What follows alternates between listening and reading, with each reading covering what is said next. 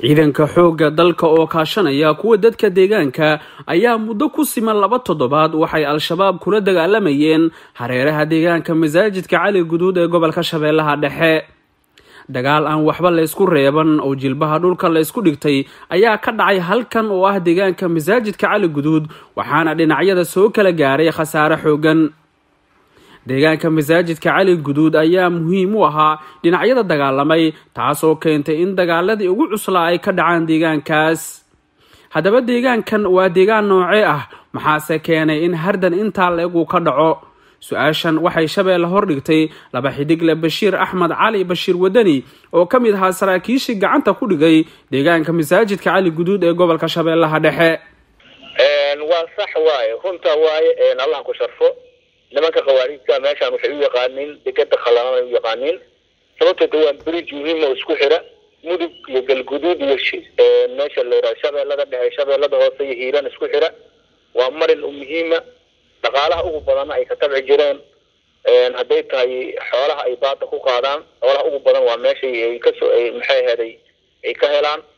Hadday tahay lacagaha ay ka qaadaan gaadiidka waa meesha marinka ugu muhiimsan oo waxawaay gaadiidka uu maro hadday tahay isu socodkooda iyo isu gurmadkooda intaas gobolan soo sheegay waa marinka keliya ay isu maraan.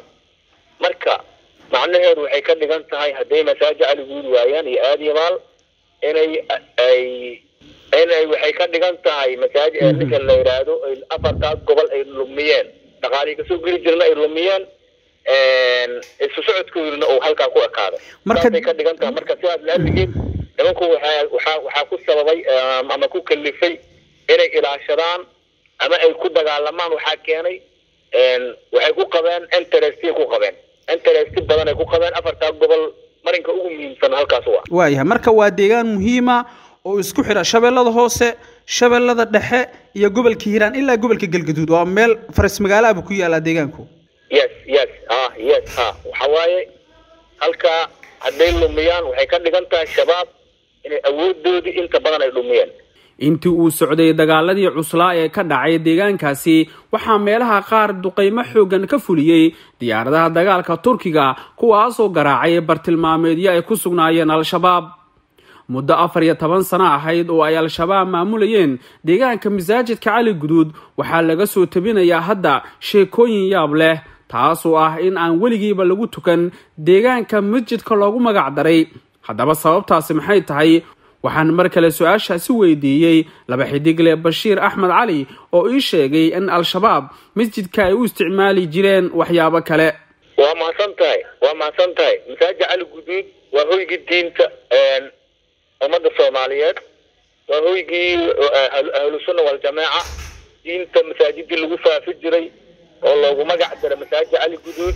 Nimankaas si ay fikirkooda qaldan oo guracan oo diin la'aanta ay u faafiyaan waxay xireen raadadkii iyo maktabadihii iyo masaajidii hore ee ahlu sunna way xireen waxayna u bedeleen guryo si gaara loo loo degan yahay u bedeleen maraakiis iyo masaajido cusub oo ayagu fikirkooda wahaabiyada ay ku faafiyaan magaaladii ay ka dhiseen waan gartay. Al-shabaabkii laga saaray deegaanka masaajidka cali guduud waxaa nagu maqaalo ah in ay u gudbeen dhinacaas iyo degmada aadan yabaale.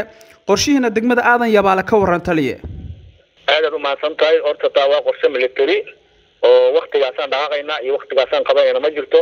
Laakiin saad ba og tahay howlgalkan guud ee dalka laga iclaamiyey wax kala har kala harsiyana ma lahan wax kala go-ana ma lahan. Waa sidii loo iclaamiyey madaxweynaha jamhuuriyadda. Xasan sheekh maxamuud uu iclaamiyey.